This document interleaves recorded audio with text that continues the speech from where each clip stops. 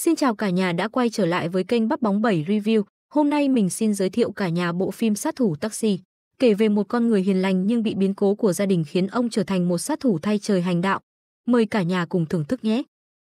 Người đàn ông này tên là A Dư, anh là thanh tra cảnh sát đang theo dõi một nhóm cướp có vũ trang chuyên hành động ở các tiệm vàng. Còn người đang hút trứng gà này là chú Ba nhưng ở trong phim Châu Tinh Trì, còn phim này mọi người gọi ông là chú Ngô vô cùng hài hước. Ông cũng là cảnh sát đang theo dõi nhóm cướp tiệm vàng đó giống như A Dư, nhưng lúc nào cũng thất bại mà chưa từng một lần phá án. Chú Ngô mới nhận được tin nhắn của sếp kêu về báo cáo công việc, thế là cả hai liền leo lên chiếc taxi đậu bên đường. Lại còn lấy uy cảnh sát mà đe dọa nhưng không ngờ tên tài xế lại móc súng ra bắn hai người, thì ra hắn ta là một thành viên của băng cướp đang đợi đồng bọn ở bên trong tiệm vàng. A Dư thấy có biến liền đu theo chiếc xe tải mà bất ngờ tấn công bắn hạ một tên, cấp dưới của chú Ngô thì bị bắn một phát trúng ngay vào mông vô cùng đau đớn. Còn A Dư rất dũng mãnh bắn hạ tiếp tên tài xế rồi nhảy lên trên nóc xe mà truy đuổi bọn chúng. Dù cho bọn cướp lái xe lạng lách để mong cắt đuôi A Dư nhưng anh vẫn bám chặt mà không chịu buông. Chú Ngô thì đợi thấy an toàn mới dám ló đầu ra, còn cầm hai khẩu súng mà chỉ vào xác chết như đúng rồi. Quay lại A Dư, anh trườn xuống phía trước mà đạp tên cầm đầu và bắn hạ tên đàn em ngồi phía sau nhưng tên cướp tước được súng của A Dư và tiếp tục lái xe băng băng về phía trước. Đến khi hắn trông thấy sắp tông vào xe chở bình ga thì mới nhảy xuống, cũng may A Dư kịp thời trườn vào bên trong mà bẻ lái vô lăng kịp thời mới không gây ra tai nạn kinh hoàng. Tên cướp cầm súng quay lại bắn A Dư nhưng anh đã trốn rất nhanh. Đợi đến khi hắn ta tiến đến gần thì A Dư bất ngờ xông ra vật ngã, rồi một cước đá bay khẩu súng, tiếp theo dễ dàng khống chế và bắt gọn tên cướp. Chú Ngô về đến trụ sở thì đi vào gặp sếp của mình. Làm thì không ra gì nhưng được cái là chú vui vẻ và nịnh nọt sếp rất là giỏi. Ông sếp mới nói do trợ thủ của chú Ngô đã bị thương nên bảo chú tìm đối tác mới. Và đề xuất A Dư, người mới bắt được bọn cướp sẽ đồng hành cùng chú Ngô. Ban đầu ông sợ vì thấy A Dư làm việc quá liều mạng sẽ làm liên lụy mình nhưng sếp đã có quyết định nên chú Ngô đành phải làm theo. Phim chuyển cảnh đến một công ty bảo hiểm, người đàn ông này tên là A Kinh, anh là một nhân viên gương mẫu và thành đạt. Có doanh thu bán bảo hiểm gấp 3 lần những người khác và đang được cân nhắc để thăng chức. Ngày hôm đó, anh sắp xếp công việc để về sớm ăn tối cùng vợ. Buổi chiều anh đang lái xe trên đường về thì bất ngờ, có một chiếc taxi vì muốn đón hai vị khách ở phía trước mà tạt đầu xe của A Kinh, khiến cho ông xử lý không kịp mà tông vào đuôi xe taxi. Thế là tên tài xế taxi liền gọi điện cho đồng nghiệp của hắn tới để cùng nhau đe dọa A Kinh. A Kinh thì hiền lành và quá tốt bụng nên dù cho ông không làm gì sai, nhưng vẫn bị tên tài xế taxi bắt bồi thường tiền sửa xe một cách quá đáng. Tiếp theo hai tên đồng nghiệp của hắn ta cũng đến nơi, liền lấy đông hiếp yếu, đe dọa A Kinh nếu không bồi thường tiền thì sẽ bị chúng đánh. Thế là A Kinh buộc lòng phải đưa 5.000 đô Hồng Kông cho bọn chúng để được yên thân. Tên tài xế liền chia cho đồng bọn mỗi người một ngàn, đúng là bọn gian manh xảo quyệt. A Kinh buồn bã vì bị ức hiếp, đã vậy chiếc xe khi khởi động lại cũng bị bốc khói mà hư luôn. Thế là anh phải đem xe đi sữa nên đã về nhà trễ. Dù vậy khi về thấy vợ đang mang thai là A Kinh vui vẻ hẳn lên, vợ anh còn khoe mới đi mua sắm về còn chi tới 8 ngàn để mua một cái máy ảnh xịn sò, sau này có cái chụp hình em bé và quay phim gia đình. Hai vợ chồng rất là hạnh phúc khi sắp chào đón đứa con đầu đời, nên mua sắm rất nhiều đồ cho em bé sẵn. A Kinh nói với vợ có bạn đến ăn tối cùng, thì ra đó chính là Trung Sĩ Dư. Hai người là bạn thân từ hồi còn đi học, A Kinh còn hối Dư mau chóng lấy vợ giống như anh, nhưng Trung Sĩ Dư chỉ biết cười trừ. Ngày hôm sau, A Kinh dẫn vợ đi siêu âm thai, khi ra về thì đón taxi do xe anh đã đem đi sửa. Hồng Kông như năm đó bắt taxi rất khó khăn, phải chen chúc mà xí chỗ trước những người khác. Đã vậy khi hai vợ chồng lên xe còn bị tài xế hét giá cao hơn bình thường. Thái độ phục vụ thì thôi rồi, nhưng vợ bảo A Kinh bỏ qua nên anh mới thôi không tranh cãi nữa. A Kinh có một khách hàng mới là một đại ca xã hội đen, ông ta rất tin tưởng A Kinh nên tính mua luôn bảo hiểm cho đám đàn em. Nhưng bắt A Kinh phải nể mặt mà bớt giá cho ông ấy. Thế là A Kinh tốt bụng lấy tiền của mình mà đắp vô, để cho ông ta được miễn phí 3 tháng đầu tiên luôn. Quay lại phía cảnh sát, chú Ngô đang cãi nhau với một cô gái trẻ xinh đẹp.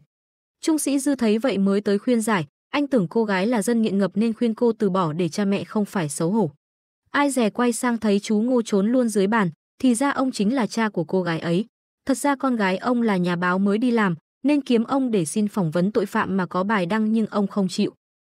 Tối hôm đó, mưa to gió lớn, vợ của A Kinh tính ra ngoài lấy đồ vô để khỏi bị ướt, bất ngờ cô xém bị trượt chân nhưng may mà đã có chồng đỡ cô kịp thời. Nhưng sau đó cô thấy bụng mình bắt đầu thấy đau đau, có dấu hiệu của trở dạ. Thế là A Kinh lập tức gọi điện cho taxi tới nơi và hứa trả thêm tiền thì mới tới đón. Chuẩn bị xong mọi thứ, A Kinh nhìn xuống thấy taxi đã đến bên dưới, nhưng không ngờ, có một người khác đang rất vội tiến đến mà trả giá gấp đôi, thế là tên tài xế vì ham tiền mà chở vị khách đó đi trước. Đến khi vợ chồng A Kinh xuống tới thì không thấy taxi đâu. Vợ anh thì đã vỡ ối chảy đầy ra ngoài váy. A Kinh mới lao ra giữa đường mà chặn một chiếc taxi khác, hứa trả gấp 3 lần để chở vợ anh đi bệnh viện. Nhưng đến khi A Kinh dìu vợ đến bên chiếc xe mở cửa ra, thì tên tài xế lại trở mặt vì sợ máu của bà bầu làm dơ xe của hắn. Mặc cho A Kinh van xin nhưng hắn đóng sầm cửa lại, mà không biết chiếc váy của cô vợ đã bị kẹt lại. Thế là tên tài xế lái xe đi mà kéo theo vợ của A Kinh lăn trên đường. Một cảnh tượng kinh hoàng và ám ảnh diễn ra trước mắt A Kinh. Anh đau đớn chạy đuổi theo nhưng vợ mình đã bất tỉnh. Vài giờ sau vợ anh đã được đưa đến bệnh viện để cấp cứu. Trung sĩ Dư cũng nhận được tin mà đến thăm A Kinh. Thế nhưng điều tồi tệ nhất đã xảy ra, bác sĩ báo tin cả vợ và đứa bé trong bụng đều không giữ được. Khiến cho A Kinh nghe thấy mà ruột đau như cắt, anh đau khổ tột độ và ngất xỉu trên tay của Trung sĩ Dư. Nỗi buồn khổ đó có ai mà hiểu thấu, ngày qua ngày, A Kinh cứ vùi mình trong nỗi đau, anh xem lại băng ghi hình của vợ, ngồi suy tư trước bia mộ của bà xã. Về nhà thì lại trông thấy những món đồ chơi đã mua trước cho con, tối đến thì gặm nhấm nỗi buồn mỗi khi nhìn vào tấm hình cưới của hai vợ chồng mà khóc nức nở.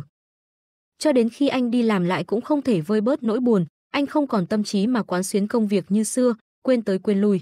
Thế là anh xếp trẻ mới tâm sự với A Kinh, anh ta rất tốt bụng và đồng cảm nên cho phép A Kinh được nghỉ ngơi thêm một tháng nữa rồi hãy quay trở lại.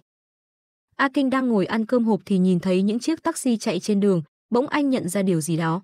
Ở phía xa có một vị khách đang bị tên tài xế hét giá cao gấp đôi và hai bên đang cự cãi. A Kinh lập tức đứng dậy và đi đến đó, miệng còn chưa nuốt hết cơm mà tát tên tài xế taxi một bạt tai. Mọi người dân trông thấy đều vỗ tay tán thưởng khiến cho tên tài xế xấu hổ mà phải bỏ đi. Tối hôm đó, A Kinh hẹn Trung sĩ Dư ra uống với mình vài chai cho quên đi sự đời, nhưng càng uống A Kinh lại càng buồn hơn. Đến khi ra về thì không cho A Dư trở về mà đòi tự đi một mình. Thế là ông đi một đoạn và bắt một chiếc taxi, vừa lên xe thì đã nghe tên tài xế nói xấu về mấy tên say rượu, thấy A Kinh sắp ói liền quăng cho cái bọc mà chỉ cả khách hàng. Tiếp theo hắn ta còn lái xe đi đường vòng để câu thêm tiền xe, nhưng A Kinh nhận ra và bắt thóp được hắn ta. Nhưng cũng không làm gì được vì tên tài xế rất ngang ngạnh. Thế là A Kinh buồn tuổi mà bật khóc như đứa trẻ, anh chợt nhớ về hình ảnh lúc vợ mình bị chiếc taxi kia hại chết. Rồi bất ngờ A Kinh giật dây an toàn mà siết cổ tên tài xế, khiến chiếc xe cho đảo mà lao xuống hố ga đang thi công. Tiếp theo anh đập bể kính chiếu hậu mà đâm liên tục vào ngực hắn ta cho đến chết. A Kinh sau đó như bừng tỉnh mà hốt hoảng bỏ chạy, anh chợt nhớ mà quay lại lau dấu vân tay của mình rồi nhanh chóng đi về nhà. Anh vội vã tắm rửa để trôi đi vết máu, nhưng sau đó khi ngồi suy ngẫm lại thì A Kinh lại nở một nụ cười thỏa mãn, anh gật gù vì nghĩ rằng mình đã làm đúng. Ngày hôm sau, cảnh sát đến hiện trường kiểm tra thì họ lại nghĩ rằng đó chỉ là tai nạn xe hơi. Cô con gái của chú Ngô cũng đến và cô phải hứa sẽ đãi một bữa tôm xì dầu thì ông bố mới chịu cho vào chụp hình. Trung sĩ Dư tới nhắc nhở thì chú Ngô cứ ử cho qua chuyện rồi mời cả anh đến nhà để ăn tôm cùng. Chiều hôm đó, khi ra thăm mộ vợ của A Kinh, Dư cũng động viên và mời Kinh đi ăn tối cùng mình nhưng anh ấy không chịu. Trong khi Dư cùng với chú Ngô ăn tôm vô cùng vui vẻ, thì phía bên này, A Kinh lủi thủi ngồi ăn cơm xa xíu một mình trông vô cùng buồn bã. Anh nhìn thấy có cậu bé đòi mua đồ chơi mà quá mắt nên ba mẹ cậu bé không cho mua. Thế là Kinh lại nhớ về đứa con trai còn chưa chào đời của mình mà mua lại thẻ đồ chơi từ cậu nhóc khác. Thấy cậu nhóc đó tốt bụng nên Kinh cho tiền gấp đôi luôn, rồi anh chạy đến tặng tấm thẻ đó cho cậu bé khóc lóc lúc nãy. Sau đó, ông tìm đến một nhà nghỉ đèn mờ. Tên Marco dẫn một cô gái đến cho A Kinh tại phòng riêng. Tưởng rằng do nhu cầu nên anh mới tìm đến để xã chết, nhưng ai dè A Kinh lại đề nghị cô gái có thể nào sinh cho anh một cậu con trai hay không. Thế là cô gái mới nói cái câu mà mấy anh trên mạng hay nói, đó là người lương 5 triệu lại đi khuyên người lương 50 triệu bỏ nghề. Thế là A Kinh tự động hiểu ra mà tạm biệt cô gái rồi rời đi. Ra đến cửa thì anh lại gặp một chiếc taxi không chịu rước hai người khách đứng bên đường, A Kinh liền bắt xe và hỏi chuyện. Lần này lại là một tên tài xế xấu xa khác, hắn ta chỉ đưa những người khách đi xa để kiếm được nhiều tiền nhất. Thế là A Kinh tính hành động như lần trước, nhưng anh bẻ kính không được, đập hắn một lúc thì bị hắn ta phản kháng lại, không ngờ hắn có thủ rùi cui trong xe để đánh nhau khi cần. Thế là A Kinh xuống xe bỏ chạy, nhưng hắn ta vẫn đuổi theo mà đánh đập A Kinh rất tàn bạo, sau đó thì chấn lột tiền của A Kinh rồi bỏ đi.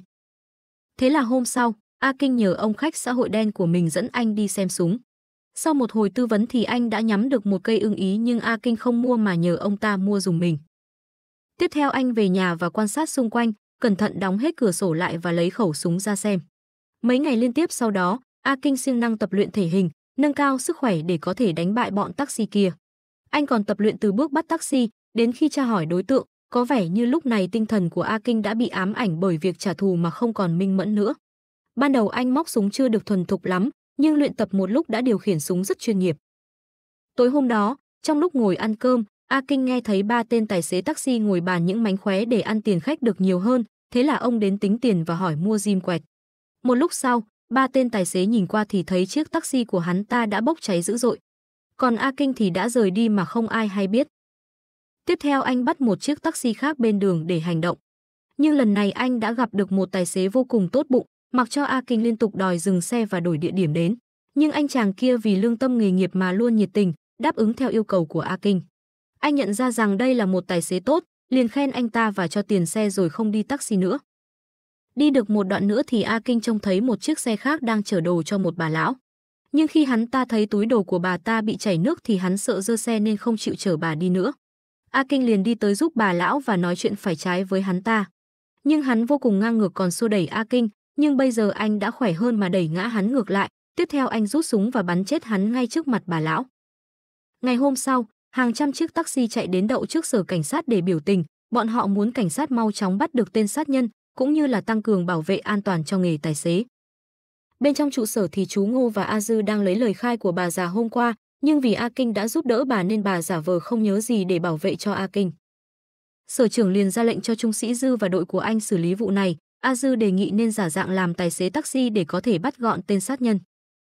Tối đó anh hẹn A Kinh đến một quán bar để tâm sự, hỏi thăm tình hình của anh dạo này thấy tốt hơn lúc trước rất nhiều. Một tên tài xế đón một cô gái đang say xỉn, hắn ta cố tình lợi dụng đưa cô gái lên xe mà bóp mông cô ta. Đi được một đoạn thì hắn tính giở trò cầm thú, nên chở cô ấy đến một đoạn đường vắng không ai qua lại. Hắn lao vào như một con hổ đói mà cưỡng đoạt cô gái, A Kinh đi đến bên cửa kính để ngăn cản hắn ta. Thế là hắn tức giận mà bước xuống xe và bị A Kinh rút súng bắn vào chân, rồi bảo cô gái mau rời đi trước. Tiếp theo anh vừa tra hỏi lương tâm đạo đức vừa bắn vào tứ chi còn lại của hắn. Cuối cùng là kẹp cổ tên tài xế vào kính xe mà siết cho đến chết. Tình hình ngày càng căng thẳng, khi trung sĩ Dư nghe một người nói có thể do một tên tâm thần muốn trả thù tài xế thì anh liền bốc điện thoại mà gọi cho A Kinh. Nhưng anh ấy không chịu nghe máy, mà cứ ngồi cắt những bản tin về các vụ án mà dán đầy trên tường. Vài hôm sau, chú Ngô chở con gái đến nơi làm việc và không quên nhắc khéo cô nhớ về nấu ăn, vì hôm nay chính là sinh nhật của ông.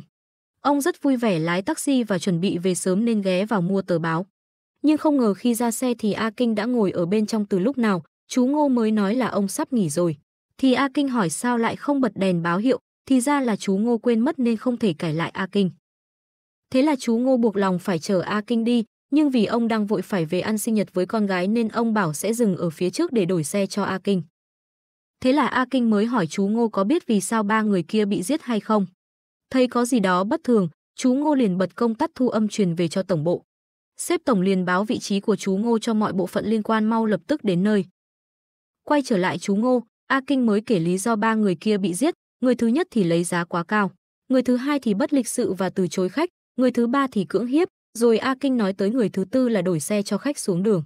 Nghe tới đó chú Ngô sợ xanh cả mặt mày mà lập tức lái xe hứa sẽ trở tới nơi tới trốn, nhưng A Kinh đã rút súng ra mà uy hiếp chú Ngô. Ông đánh vào mắt A Kinh rồi bỏ chạy nhưng vẫn bị anh ta bán trúng lưng. Bất ngờ từ phía xa một chiếc xe tải lao tới tông trúng chú Ngô té ngã bất tỉnh. A Kinh thấy vậy liền lập tức bỏ trốn. Mọi người đến nơi nhanh chóng đưa chú Ngô vào bệnh viện để cấp cứu.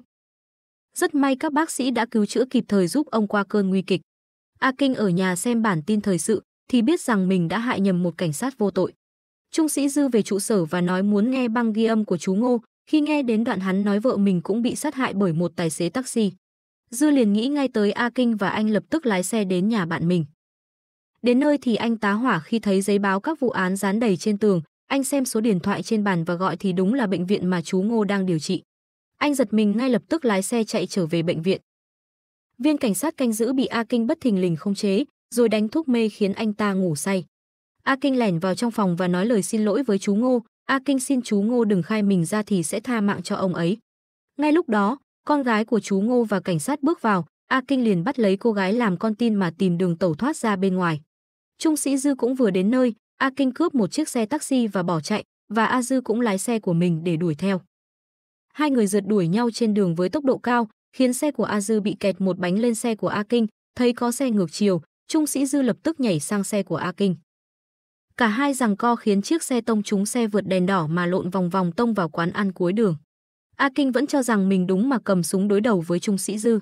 Anh cầm súng bước ra bên ngoài có rất nhiều tài xế taxi đứng bao vây, A Kinh giận dữ mà chỉa súng lên trời bắn cho đến khi hết đạn. Đám tài xế liền lao vào và đánh cho A Kinh một trận, đến khi Trung Sĩ Dư nổ phát súng chỉ thiên thì bọn họ mới chịu thôi. Cảnh sát sau đó cũng đến nơi và kiểm soát tình hình. A Kinh được đưa đi cùng người bạn mình trong thâm tâm như được giải thoát khỏi con quỷ trả thù đã kiểm soát anh. Bộ phim nói về A Kinh và chúng ta phần nào cũng thấy cảm thông cho anh ấy. Phim đến đây là hết rồi, cảm ơn cả nhà đã quan tâm và theo dõi. Nếu thấy hay hãy like và đăng ký kênh để ủng hộ mình nhé. Xin chào và hẹn gặp lại cả nhà.